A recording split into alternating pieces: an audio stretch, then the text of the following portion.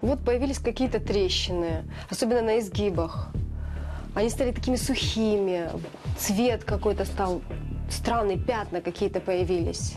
Взуття, яке Олена тримає в руках ще кілька днів тому, було майже новим. Обидно до слез. Жінка вирішила підготувати до перших холодів взуття чоловіка і свої черевики. Вот этот вот крем купила в переходе. Шкіряні туфлі на підборах, Это были мои любимые сапоги. елегантні замшеві черевики Вот эти купила себе на день рождения. Сама себе подарила. і ще три пари зі шкіри та замшу Олена на ніч намастила кремом для взуття. Ну, стоил сколько-то, 15-20 гривен. І ось ці шкіряні черевики Олена взує на роботу наступного ранку. В тот день я одела ту, вот эту пару обуви. Было замечательное настроение. По дорозі піде дощ. І коли жінка прийде додому, не впізнає свого взуття. Вот теперь, видите, тоже вот эта пересушенность. Але головний сюрприз чекатиме Олену, коли вона дістане з шафи інше взуття, яке увечері обробляла дешевим кремом. Все в трещинах, все, все в таких меленьких трещинках, такие сухие. Я уверена, что обувь моего мужа и мою испортил крем. Дешевый крем. Чому ж взуття зіпсувалося? Річ у тім, що коли Олена нанесла крем на своє взуття, він не просочився у шкіру і лишився прошарком на горі. Засох і почав стягувати і псувати шкіру взуття. Якщо крем якісний, він проникне та захистить шкіру і відштовхуватиме воду, сіль та пил. А якщо крем неякісний, сіль, пил і вода будуть навпаки всмоктуватися у ваше взуття. Нагадаємо, Олена купила у переході крем всього за 15 гривень. Сказали, что хорошее соотношение цена-качество, цены и качества. Тем более с пчелиным воском. Його ми й привезли до експерта взуття Олександра Мавродієва. Він точно знає, якісний крем не може коштувати так дешево.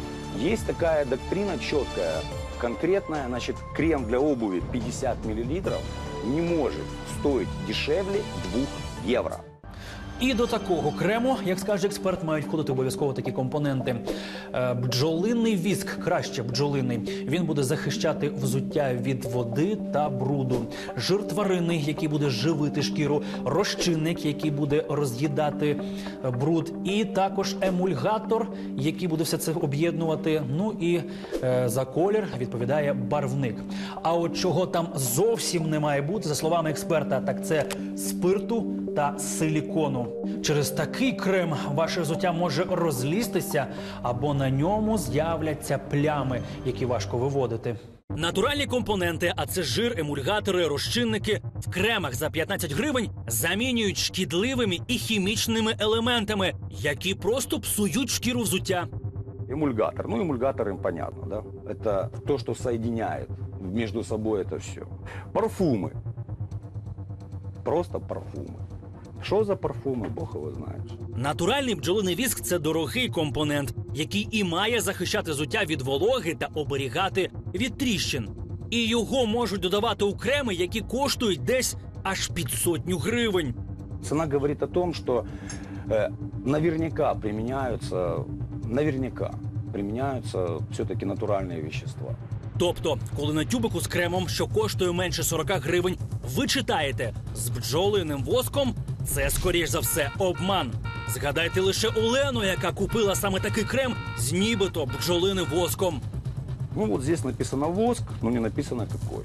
Але якщо ви сумніваєтесь в кремі, перевірити його якість можна навіть вдома.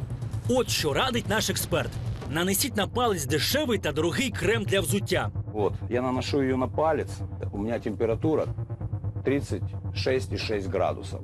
Воск должен начать плавиться на моей руке.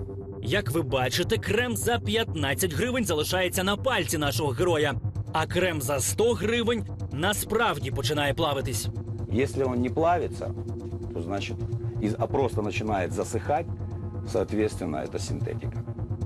Дешевий крем, як і на пальці, так і на вашому взутті засохне, а значить, буде псувати ваше взуття Просто останется сверху на поверхности. И это сделает, ну, из всей технологии процесса создаст только видимость и э, некий короткий промежуток защиты.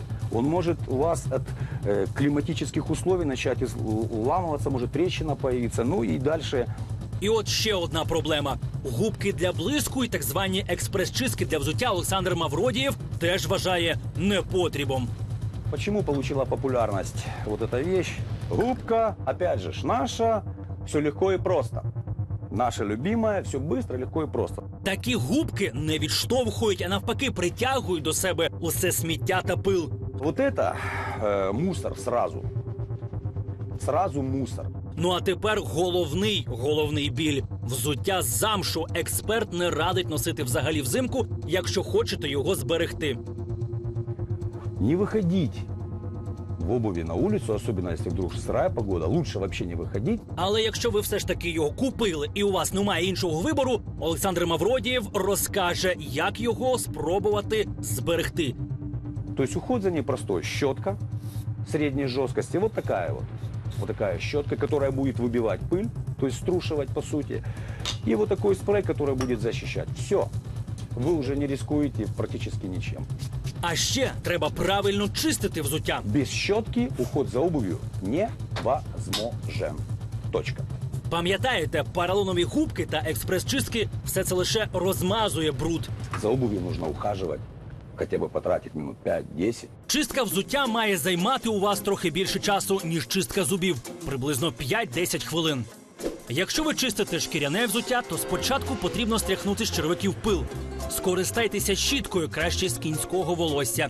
Чистіть ретельно та зусиллям. Якщо ви цього не зробите, то пісок, що залишився, може подряпати ваше взуття під час поліровки.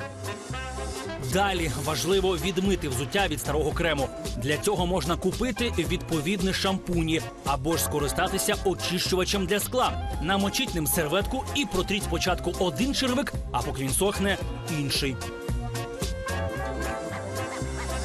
Коли взуття висохне, бажано на нього нанести ще жир норки або інший тваринний жир і дати йому всмоктатись. Цей жир чудово відштовхує воду і захистить взуття від тріщин. Наступний етап найвідповідальніший нанесення крему на взуття. Якщо ваше взуття нове, краще скористайтеся безкольоровим кремом для початку. Запам'ятайте, тон крему має бути злегка світлішим за колір черевика. Аби перевірити тон крему, нанесіть його на непомітне місце, наприклад, на п'яті. Якщо ви хочете, щоб ваше взуття блищало, відполіруйте черевики делікатно, без зайвих зусиль. Для цього краще використати щітку із кінського волосся або вовняну ганчірку.